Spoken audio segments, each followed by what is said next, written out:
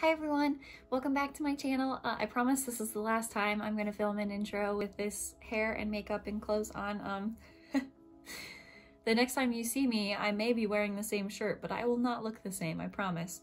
So today I wanted to share with you a little bonus video.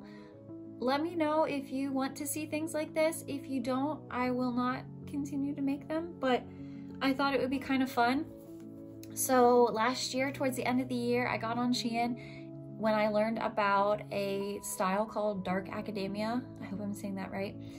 I was watching a Mia Maples video. She's so sweet. And she was trying different aesthetics and she brought up Dark Academia and I had never heard of it. I apparently am just not on the internet enough to know about these things because it's really pop it was really popular.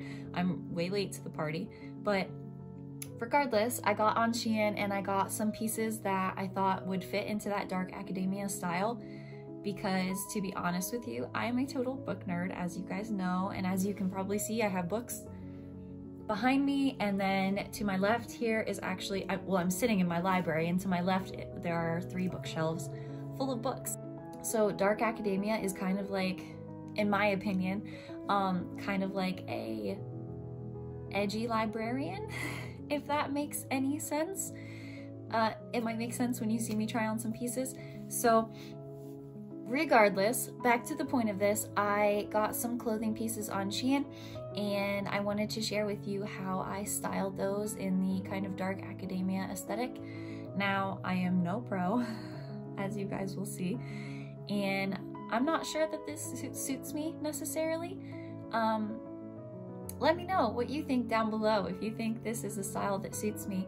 But I thought it'd be fun. And I also, one, one disclaimer, um, because I bought these pieces last year, a lot of them are sold out, unfortunately.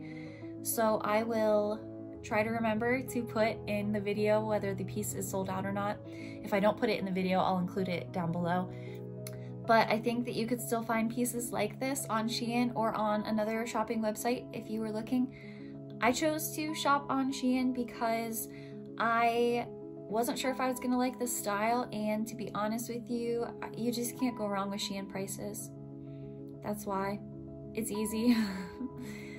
so yeah, without further ado, uh, let's get into me trying on these Dark Academia pieces. I hope you enjoy.